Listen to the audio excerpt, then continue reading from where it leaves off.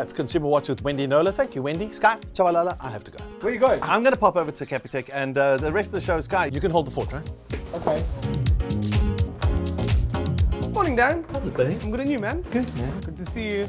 So if you're wondering why I'm doing Darren's job, it's because he's gone to Capitec for the new opening of the Morning. Gateway branch, but he forgot something.